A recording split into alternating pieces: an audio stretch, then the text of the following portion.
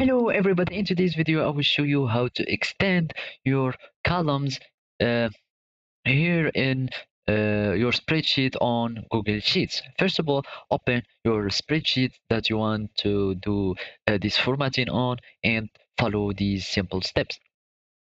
Uh, the first and easiest or the manual uh, way to extend your uh, column is by selecting the column by clicking on the, the letter of the column.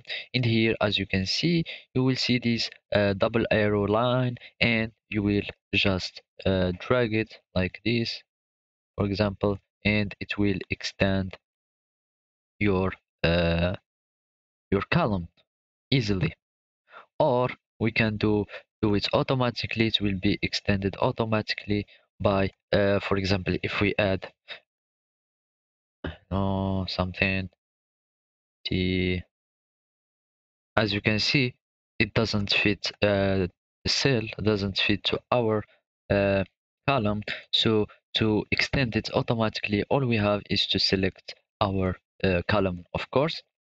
Then we will do uh, make the cursor appears as before. So it will be a double arrow line and then all you have to do is double click on it.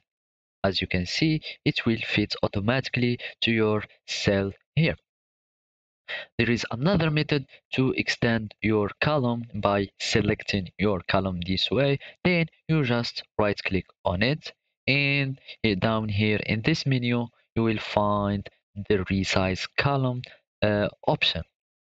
Now let's just enter you can enter a customizable or uh, uh number of uh, pixels that you want. For example it be uh, 300 as you can see but still you can't know if it will fit to your data.